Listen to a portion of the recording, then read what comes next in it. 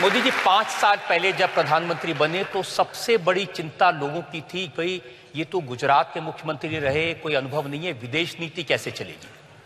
तो कुछ तस्वीरें मैं दिखाना चाहता हूँ कि कैसे आपने विदेश नीति को बाएँ हाथ का खेल बना दिया, कुछ तस्वीरें हम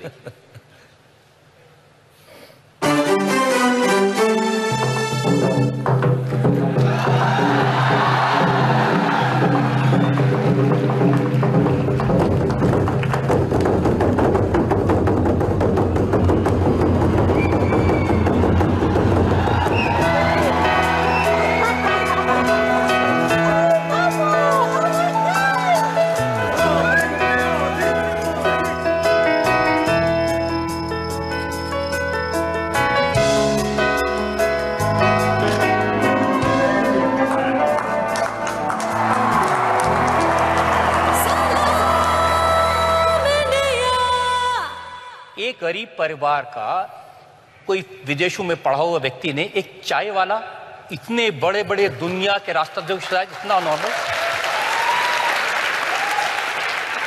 आपने सही कहा, जब मैं 2014 का चुनाव लड़ रहा था तो उस समय मेरी सबसे बड़ी आलोचना जो होती थी, ये होती थी।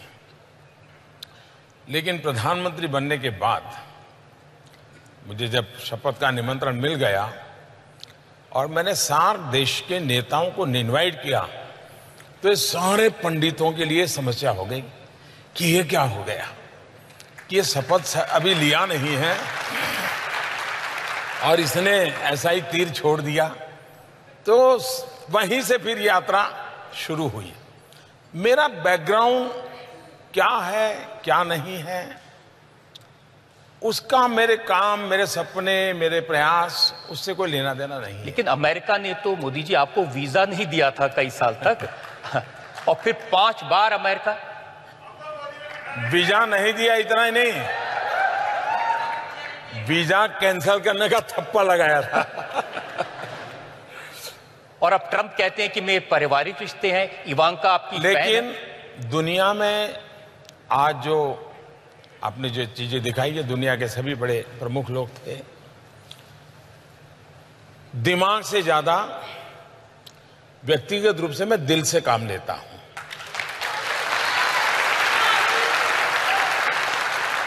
जब टेबल पर बैठते हैं आमने सामने बैठते हैं तो उसमें दिमाग प्रमुख होता है।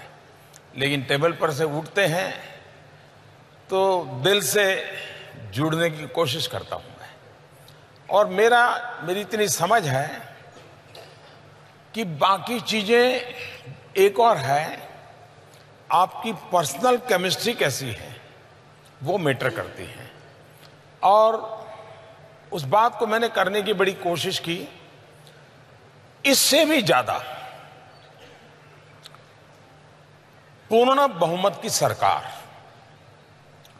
हमारे देश में हमारे पॉलिटिकल पंडित भी इसकी ताकत नहीं समझते हैं। तीस साल तक देश में पूर्ण बहुमत की सरकार न होने का एक सबसे बड़ा खामियाजा विश्व में हमारी स्वीकृति के लिए एक सवालिया निशान बन गया। कोई भी देश होता था यार, ये कितने दिन रहेगा? ये निर्णय करेगा, कौन मानेगा?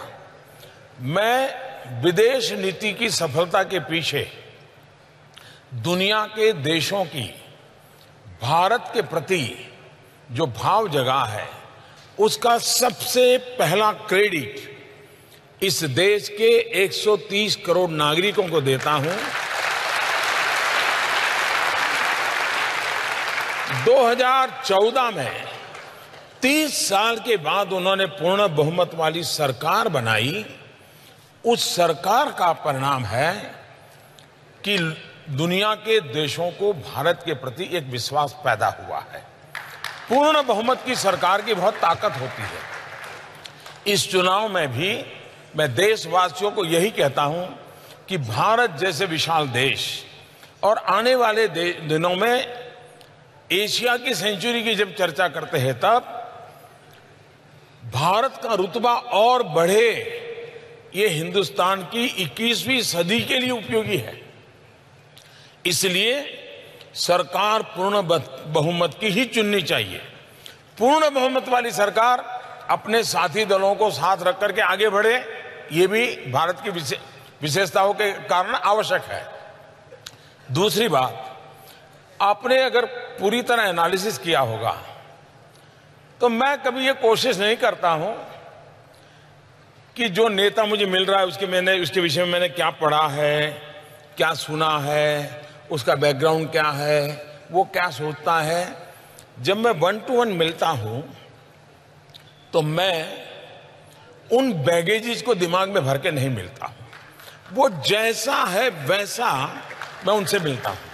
और मेरे फ़र्स्ट एक्सपीरियंस के आधार पर चीज़ों को मैं स्टेप बाय स्टेप आगे ले जाता हूँ। उसके कारण सामने वाले को भी एक समाधान होता है। वरना दुनिया के किसी नेता के विषय में प्रोफ़ाइल पढ़ के जाओगे तो पचास की चीज़ें होती हैं। उससे कभी हम सही मूल्यांकन नहीं कर पाते। और तीसरी बात, कोई भी बात करूँ, मेरे दिल में कभी ये इच्छा नहीं रहती है कि मैं अपना प्रभाव छोड़ के आऊँ। ये बिल्कुल मेरे मन में इच्छा नहीं रहती। मेरे दिल में एक ही भाव रहता है, मैं उसे हिंदुस्तान के लिए आकर्षित करके ले आओ जाऊँ वापिस। उसको भारत के लिए अट्रैक्ट करूँ।